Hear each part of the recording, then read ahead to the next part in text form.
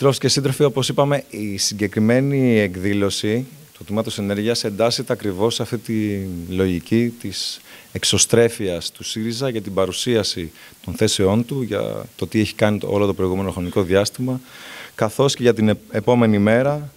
για την παραγωγική ανασυγκρότηση και τη δίκαιη, βιώσιμη και στέρεη ανάπτυξη, ιδιαίτερα μετά τα μνημόνια. Ε, είναι εξαιρετικά σημαντικό, θεωρώ, να προασπίσουμε ενωμένοι το δημόσιο συμφέρον και ο ΣΥΡΙΖΑ και το τμήμα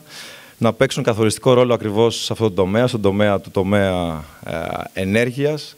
Ε, ένα καθοριστικό ρόλο το οποίο έχει πολύ μεγάλη σημασία για την κοινωνία, την οικονομία ε, και το περιβάλλον.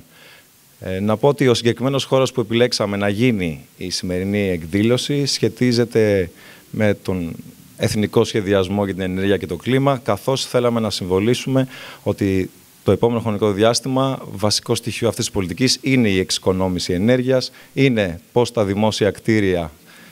ε, σε πρώτο βαθμό αλλά και στη συνέχεια όλα τα κτίρια θα μπορέσουν να μπουν σε μια ε, νέα ε, λογική βάση της εξοικονόμησης ενέργειας